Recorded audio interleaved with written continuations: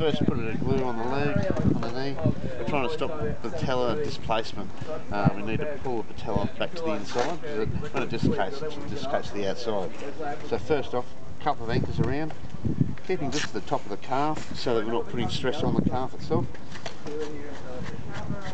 And then just at the bottom of the hamstring as well, so that we're not on the muscle itself, we're just at the insertion point on the hamstring. J taping. There's a couple of different ones. There's a McConnell, there's a J taping. I find the J taping to be much more efficient.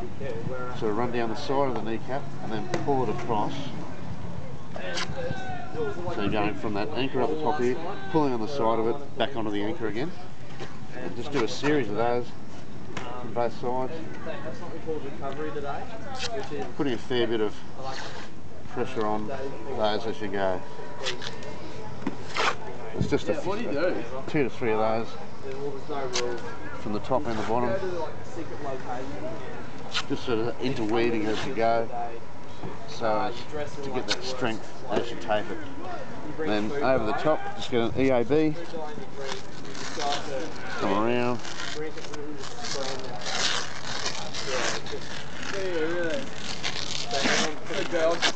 staying out of the crook of the knee so you're not bothering them there. And then it's just a matter of where the tape will roll up on the edges. Just put a bit of rigid over that to stop it moving too much. Voila!